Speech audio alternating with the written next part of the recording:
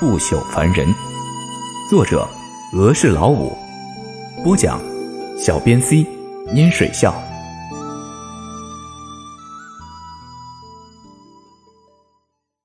第五百五十章，一步登天的英水仙城。尽管还在主持丹药道大比，但胡真宇已经把莫无忌的信息全发回了丹道仙盟总部。他要求总部以最快的速度查出此人根脚。以胡真宇的眼光，岂能看不出来？莫无忌将来只要不陨落，那必定是丹帝的存在。丹道仙盟缺少新鲜血液，有这样一个潜在丹帝被他发现，他又如何可能放过呢？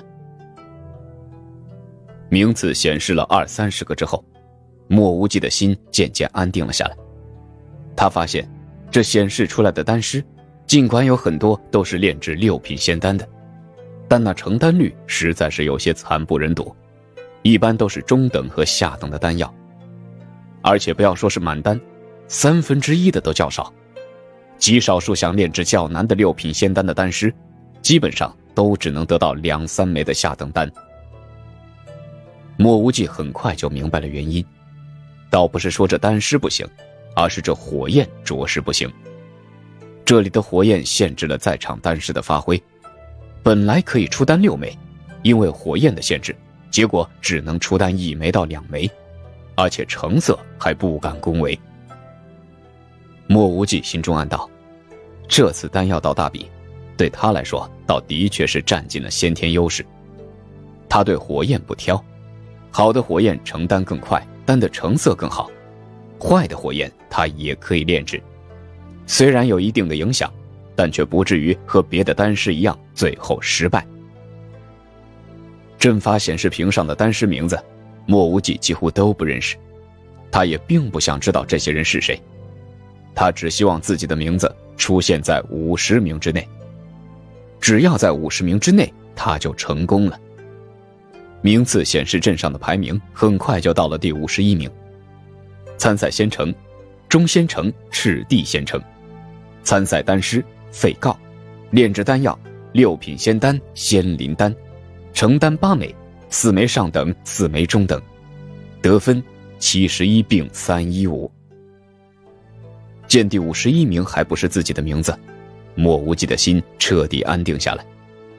他知道自己铁定晋级前五十了。第一轮第一，第二轮就算是第五十，他也绝对是前五十无疑。这费告莫无忌倒是有印象，在第一轮比赛里，这家伙得到了第六的好名次。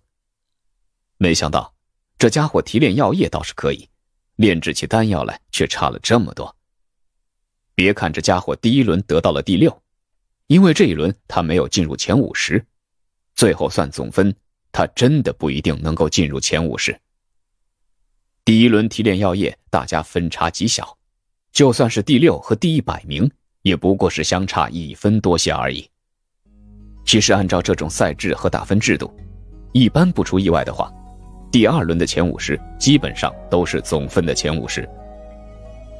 此刻第五十名也出来了，参赛仙城，上仙城普罗仙城。参赛丹师文成部，炼制丹药六品仙丹剑气炼玉丹，承担六枚，五枚上等，一枚中等，得分七十三并五二一。这分数一出来，莫无忌就知道在第一轮得到第六的费告被淘汰了。这个文成部在第一轮得分还在旁边的显示屏上，九十一并四六一。尽管在第一轮文成部没有进入前五十。但他在总分上依然超过了费告，文成部都得了七十三分还多，可见后面的名次费告是更加难以追赶。果然，第四十九名的分数超过了七十五分。费告看见这个分数出来，也是叹了一口气，低着头坐了下来。只差一点点，他就可以进入前五十，而这一点就是难以逾越。在得知自己稳进前五十之后，莫无忌反倒并不在意了。他也坐了下来，开始闭目养神，同时考虑着进入运仙仙谷，得到了明心神花之后，应该如何离开永英仙域。在第五十名出来以后，还没有看见莫无忌的名字，英水仙城的城主温侯再也忍不住了，激动地站了起来。从成为英水仙城城主以来，他从未想过英水仙城有天可以晋级中仙城。而此时的鹰水仙城铁定晋级中仙城了，差的只是这第二轮名次显示罢了。燕青灵抓住了温侯的手，让他坐下来。只有她最能体会自己丈夫的心情。从永英仙域丹药到大比开始，温侯就心若游煎。他比谁都清楚，一旦鹰水仙城在丹药到大比中失败，沦为附属仙城，那后果会是如何凄惨。所以从丹道大比宣布之后，他就四处寻找丹师参加比赛。女儿莲希之所以跑到永英角去寻找参赛的丹师。一样是因为知道父亲的心焦。可惜的是，除了他的老朋友梁谭，他英水仙城根本就找不到一个像样的丹师。有些事情真是有心栽花花不开。就在温侯放弃了丹药到大比的时候，女儿却为鹰水仙城找来了这么一个逆天的丹师，不但第一轮第一，第二轮也是稳进前五十。鹰水仙城有了这样的成绩。哪里还会考虑沦不沦为附属县城呢？作为鹰水仙城的城主温侯，现在考虑的应该是鹰水仙城晋级中仙城之后的繁琐事务。如果说广场上除了温侯一家激动不已之外，那另外一个激动不已的自然就属林姑了。林姑之所以邀请莫无忌，一个是因为他不认识更厉害的丹王。二个是他知道莫无忌是四品尊级丹王。现在两轮比赛尚未结束，林姑就知道他没有选错。莫无忌居然在第一轮赢过了丹帝，这种逆天的存在，说不得真的可以让他的母亲康复。莫无忌不关心名次显示阵平，别的修士可是紧紧盯着。到了这个时候，所有的人都想知道。莫无忌在第二轮又排到了第几？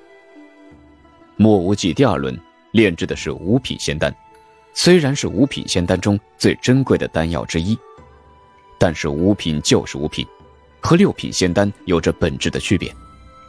如果一个五品仙丹都可以拿到前面的名次，那就更会让人怀疑莫无忌的成绩是不是真的。阵法显示屏上的名次很快就到了第六名。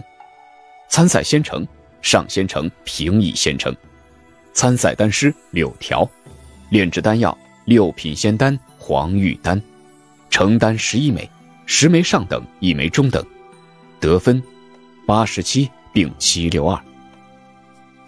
第五名，参赛仙城下仙城鹰水仙城，参赛丹师莫星河，炼制丹药五品仙丹狄仙大智丹，满丹。十二枚特等，得分九十并零零零。这名次一出来，众人更是哗然，但这回却没有人觉得有假，因为炼制的丹药就在这儿，这根本就做不了假。只要有人有疑问，马上就会有人把丹药拿出来向大家公示。而且一些知情人还清楚，第二轮比赛完毕，等总分统计出来之后。前五十名炼制的丹药将会去掉禁制，让众人用神念任意观察。这第二轮丹药到大比，五品仙丹得了九十分，这是一个极致。也就是说，只要你炼制的是五品仙丹，你最多只能得到九十分。莫无忌将狄仙大智丹能得的分数全都得到了，这岂止是惊人？恭喜温侯老弟啊！以后你也是我们上仙城中的一员了，有空多去我陆运仙城坐坐。在莫无忌分数刚刚出来的时候，陆运仙城城主就主动过来和温侯打起了招呼。莫无忌这逆天的丹师，居然和鹰水仙城有关系。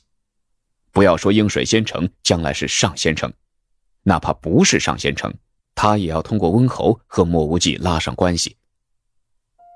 在陆运仙城之后。各大上仙城、中仙城城主都满脸堆笑的过来和温侯打起了招呼。神态语气都是客气到了极致。和之前简单招呼一下不同，这次莫无忌铁定进入前五之后，那些热情的城主就像是大家本就相识多年一样。温侯尽管满脸堆笑，可他一直是晕晕乎乎的。什么时候他一个鹰水仙城城主享受过这样的待遇？以前永英仙域各大仙城的城主聚会，他也有幸参加过一两次。别看他在鹰水仙城是城主，可在那种仙城城主聚会上，他也只能缩在边角，偶尔陪着笑脸和人说上几句，人家也是代理不理。现在好了，上仙城的城主主动上前，客气有加的打招呼，而中仙城和下仙城的城主，有一些在过来叙话的时候，甚至带上了谦卑的姿态。从巨大的幸福和被尊重中清醒过来，温侯更加明白，这一切不是他自己挣来的，而是赛台上那个年轻的不像话的丹师带来的。名次阵法显示屏上显示出了第四名。上仙城百定仙城，旷之遥，炼制六品仙丹蓝须子丹，满丹，一枚特等，九枚上等，二枚中等，九十一并五四九分。蓝须子丹算是非常难以炼制的一种六品仙丹了。旷之遥能把蓝须子丹炼制出满丹来，已经是非常了不起的成绩，能得这么高的分，算是很公平。第三名。中仙城圣离仙城，吴允生，炼制丹药六品仙丹冰破天辰丹，满丹，三枚特等，九枚上等，得分九十三并三二二。第二名，上仙城陆杰仙城，参赛丹师恒俊，炼制丹药六品仙丹黄玉丹，满丹，九枚特等，三枚上等，得分九十五并四一三。第一名。上仙城九光仙城，参赛丹师公羊学，炼制丹药六品仙丹九曲精神丹，满丹六枚特等，六枚上等，得分九十七并三三九。不朽凡人本集播讲完毕，欢迎继续收听由小编 C 和捏水笑为您播讲的不朽凡人下一集。